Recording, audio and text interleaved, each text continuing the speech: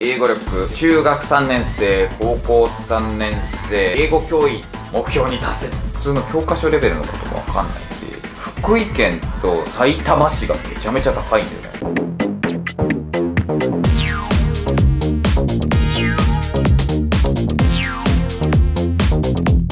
はい、Hello there. 政府目標の英語力、中学3年生、高校3年生、そして英語教員、目標に達せず。中学3年生は目標に達成した割合が47%。半分以上は達しませんでした。まあ、英検3級レベルですね。セファールっていう指標でいうところの A1 レベル。だから中学校卒業までにそこまでいかなかった人がほとんどということですね。まあ、ほとんどとか半分以上。えそして高校生に関しては、セファールの A2 レベル以上ということなので、まあ、準2級相当ですね、英検の。で、そこに達したのが46.1%と。ということで、惨敗ですね。まだまだじゃんっていう風に報道してるところと、どんどん上がってきてるよっていうポジティブなね、報道しているところでは分かれてますよね。新聞によっても違いましたね。英語系のね、鈴木貫太郎さん、英語系じゃねえや、数学系の YouTuber のね、鈴木貫太郎さんが毎日新聞読んでるのでたくさんネタを提供してくれました。ありがとうございます。ちなみに令和2年はコロナの影響で調査が中止だったんですけど、また再開されてやってるんで、それを見ていきたいと思いますね。でちなみに他にも英語教師の方ですね、英検準1級レベルなきゃいけないよって、まあこれはいろんな動画で私も話してると思いますけど、それを求められてる。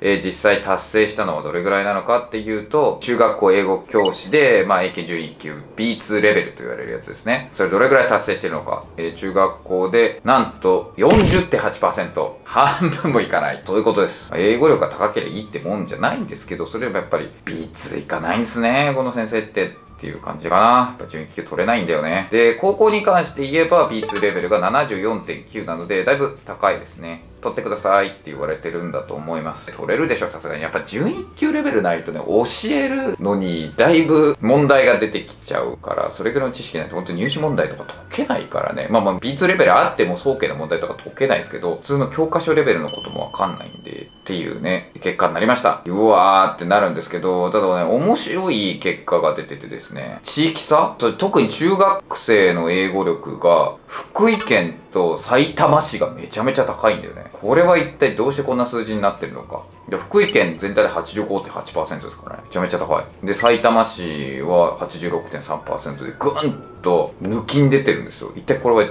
なぜなんでしょう？ぜひですね、教えてください、これは。で、同じように、教師の方もね、ぐんと出てるんだよ、やっぱり。教師の英語力っていうのでも福井県が1位なんだよね。その B2 レベル以上持ってるのが64.8%で。で、次が東京都なんですね、61.7%。沖縄も高い、60.9で。で、市だと広島市が1番なんだよね、62%。なんでなんでしょう？これは一体どういう差なんだろう？別に埼玉市はこれだと中学校高くないしね。高校だと福井県96.9だからね。90超えてる青森県も超えてる。えー、鳥取、徳島、佐賀、熊本なんかが90%を超えてますね。長野も超えてるな。っていう感じなんですよ。一体これどうしてなんでしょうね？で、まあ平均も出てて、平均以下の県もこうやってね、見れちゃうんですよ。あららら、熊本市とかめっちゃ低いな。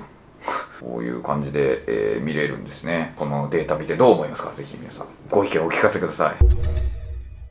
じゃあ細かく見ていきますが、まあ、目標は50%以上なんですよ。国が出してるのは。それがなかなかいかんと。で、データを見ると、この紫色のやつが実際セファール A1 レベル以上を取得している人のパーセンテージですね。英検とかででしょで証拠としてちゃんとあるのは27.2しかないわけですね。この変な斜め線になってるやつは、要すると思われる生徒の割合ですからね。じゃあ実際本当にあるのか不明なわけでしょここをどうすんのってちょっと思いますけどね。で、いつも有すると思われる生徒って一体どうなのって言ったら、実際に外部検定試験の Q スコア等を取得していないが、そう持ってないんです。2技能または3技能を測る試験のスコア、公式な記録としては認定されていない試験のスコア、キャンドゥリストに基づくパフォーマンステストの結果、各教育委員会でモデル校での検証に基づいて定めた目安等により、それに相当する英語力を有していると、英語担当教師が判断する生徒を指すって言ってるので、怪しすぎじゃないですか。だから別に持ってないわけでしょ英検だったりとかさ、GTEC だったりとか。そうだと思われる人なんで、ちょっとで、それはどうなのって思うけどね。客観的に示されてないじゃん。まあもちろんなんか帰国資料とかでね、それができるとかだったらわかるんですけど。うーん、ちょっとそれってどうなのと思いますね。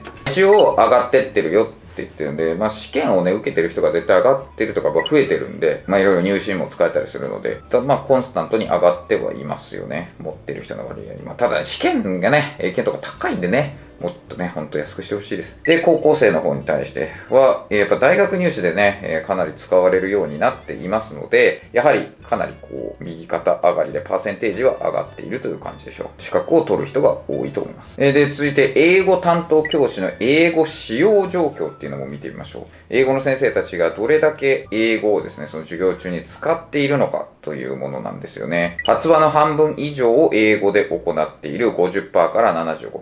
で、発話をおおむね英語で行っているっていう75%っていうのがあるんですが、果たしてそれどうなってるのっていうのを見てみると、まず中学校全体では50%以上が73.4とかね、73.8、3.5、73.0っていう風になってる。まあちょっとね、悲しいながらね、これはよくあることなんですけど、1年、2年、3年と減っていくと割合が。まあ最初の方はね、stand up please とか、please repeat it after me, open your textbook page 何々みたいな形で、簡単なものがいっぱいあるのに対して、だんだんだんだん学年が上がると受験指導しなきゃいけなくなるので、その分文法用語が出てきたりとか、文法の説明をね、日本語で行ったりするので、割合が下がっちゃうっていうですね、ものになってしまうんですが、基本は英語で全部やりましょうみたいに言われてても15%ぐらいしかやってないわけですね。まあそういうもんなんです。だってできないもん。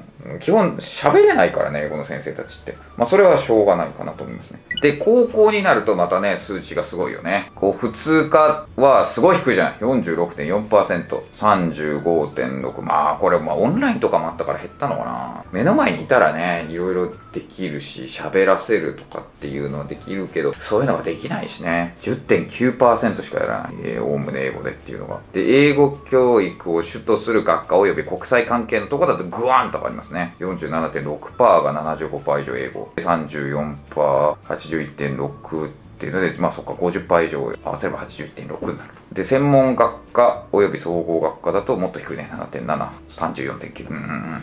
まあそうなっちゃうでしょ。で内容が難しくなればなるほど、それを日本語で説明するっていうのが多くなるのはまあ必然だよね。文法っていうのも説明しようと思ったら英語で説明するのは相当大変だと思いますね、先生側にとっては。で、難しい概念のもの、難しい単語になればなるほど日本語を通した方が早いし、というので、まあまあまあまあそうなっちゃうかなっていうのはあります。そのさっきも言ったように、この英語でやってるよって言っても、そのやってる内容っていうのが非常にレベルが低いものになっちゃってるんじゃないかなと思いますね。まあちょっとね、それは心配、心配っていうのもあれですけど、別に僕は別に英語でやるべきだとは思ってないからですけど、まあまあそういう風になっちゃうだろうなっていうのはありますね。まあ難しいよ。実際英語だけの授業やってたけど、その英語を英語で説明するっていう、まあ自分がその資格を2つ取ってるから、慣れっこだったんで、こういう時にこういう表現を使うっていうのを知ってたんで、それでできたってていうのはありますけどね。英語で英語を習ってたことが結構あったんで。だからその日本に戻ってきても最初の頃はほぼほぼ英語でやってましたからね、どこの授業も。